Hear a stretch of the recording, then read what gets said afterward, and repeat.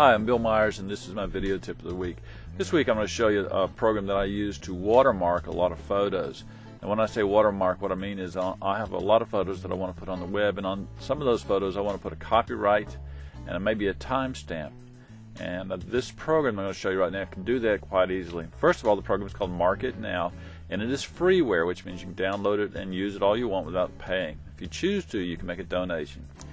The way it works is you load the program up, then you go down to input files and you select a folder on your computer that has a photo or a selection of photos, and then you select the photos that you want to add watermarks to. Here's a couple of photos I've added that I'm going to add a watermark to. And then you go up to text watermark and you put in the place where you want the watermark to, to be shown.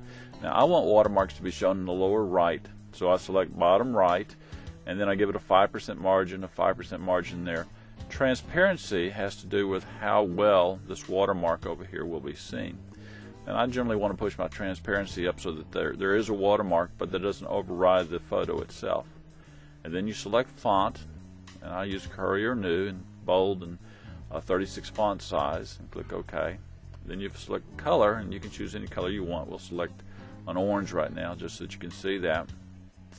You can see it down here. I'm going to make the transparency zero so you can see it better and I'll zoom in so you can see how nice a watermark it makes. You can see the, the watermark right there. And then here you enter the text for the watermark. For example, I might want to put copyright Hamilton New Media and then the, the date. And if I click advanced, it allows me to choose whether I want to put a date there or not.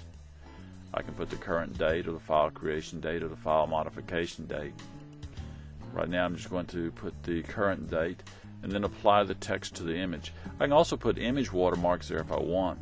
When I output it, I can output the uh, image to the same directory but append a suffix to the image name. That way I'm not overwriting the actual image itself. I'm creating a new image with a watermark. Or I can output it to a totally different directory and the output format is going to be the same. I can just keep it, it'll take that image and it'll make it the same. Now, when I mentioned date earlier, it'll pull the date of the image right off the image file itself. So your watermark can include things like uh, copyright and the image date, or you may not want the image date on it. Anyway, this is a free program. It's called Mark It Now, and you can download it from here.